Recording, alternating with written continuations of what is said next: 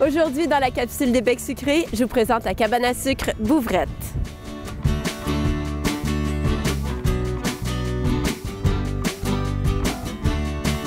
Moi, j'ai la cabane à sucre Bouvrette depuis 32 ans.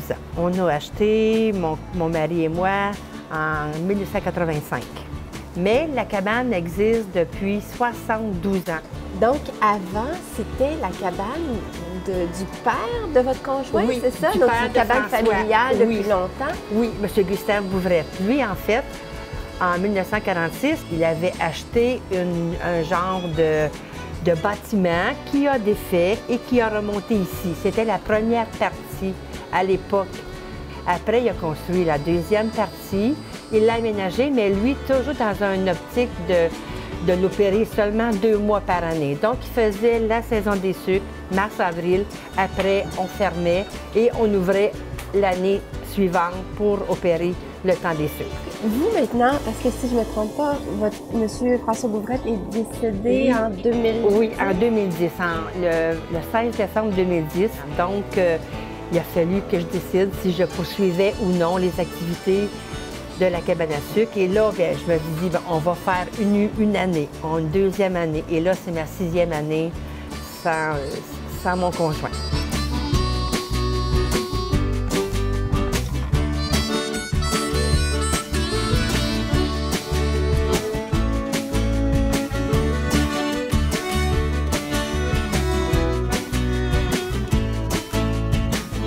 Qu'est-ce que c'est le secret du succès de la cabane à sucre Bouvrette, à votre avis? L'amour des gens, surtout, la qualité qu'on veut offrir à nos gens. Une clientèle aussi très fidèle. On vient maintenant à la cabane, pas juste pour manger un repas traditionnel. On vient ici pour les activités. On a vu depuis trois ans vraiment un changement majeur au niveau des jeunes familles. Les jeunes familles se rapprochent des traditions, ce que avant on ne voyait pas. C'est pour ça qu'en 2001, on a construit la gare.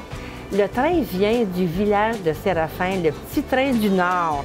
On a construit aussi la mini-ferme. Tout ce que vous voyez sur le site, ça remonte à peu près en 2001, 2001-2004, parce que François était très, euh, était très ingénieux, puis aussi, il, y avait, il voulait vraiment rendre le tout agréable pour les gens.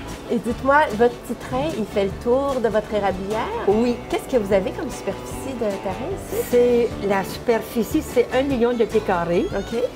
Puis il fait vraiment le tour de tout ce qui est entaillé. Parce qu'on on entaille à chaque année jusqu'à 1000, 1800 entailles, je pense. Et on a aussi gardé la technique euh, avec les chevaux. Nous, on ramasse l'eau d'érable avec les chevaux.